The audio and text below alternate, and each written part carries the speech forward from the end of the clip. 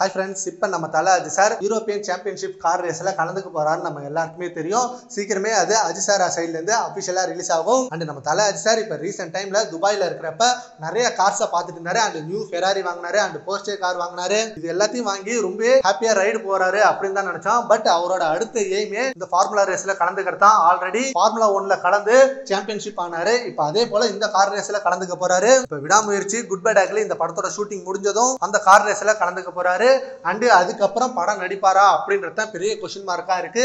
And இப்போ இருக்க தமிழ் சினிமாவில் விஜய் அஜித் இவங்க ரெண்டு பேர் தான் ஆல்ரெடி விஜய் அவர்கள் தளபதி சிக்ஸ்டி நைன் படத்தை முடிச்சுட்டு சினிமாவுக்கு நான் போகிறேன் இனிமே சினிமா எனக்கு இல்லை வெறும் அரசியல் தான் அப்படின்னு சொல்லி அஃபிஷியலாக அனௌன்ஸ்மெண்ட்டே பண்ணிட்டாரு. இப்போ நம்ம தலை Ajith sir also good bad ugly முடிச்சுட்டு கார் ரேசிங் போறாரு. அண்ட் அதுக்கப்புறம் வேர்ல்டு ட்ரிப் போறாரு. ஸோ அவரும் சினிமாவுக்கு கொஞ்சம் கேப் விட போகிறாரு தமிழ் சினிமாவில் இருக்க பெரிய ரெண்டு தலைகளே சினிமாவுக்கு பெருசாக கேப் விட்டா கண்டிப்பாக தமிழ் சினிமாவில் பெரிய அடியாக தான் விழும். அண்ட் நம்ம தலை சார் சீக்கிரமே வேர்ல்டு இப்போ முடிச்சுட்டு அடுத்து ஏகே சிக்ஸ்டி ஃபோருக்கான அஃபிஷியல் அனௌன்ஸ்மெண்ட்டையும் கொடுக்கணும்.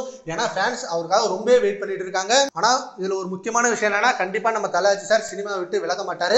ஜஸ்ட் ஒரு சின்ன கேப் தான் எடுப்பார். அண்ட் நம்ம தலாஜி சார் இப்போ யூரோப்பியன் சாம்பியன்ஷிப்பில் கலந்துக்க போகிறான்னு தெரிஞ்சதுமே நிறைய செலிபிரிட்டிஸ் வாழ்த்துக்களையும் பாராட்டுகளையும் தெரிவிச்சிட்டு இருக்காங்க. சரி ஓகே ஃப்ரெண்ட்ஸ் இப்போ நம்ம தலாஜி சார் கொஞ்சம் சினிமாவிலேருந்து கேப் விட போகிறாரு அதை பற்றி உங்க ஒப்பீனியன் நம்ம கான்பாஸ்ல கவுண்ட் பண்ணுங்கள் தேங்க்யூ ஃப்ரெண்ட்ஸ்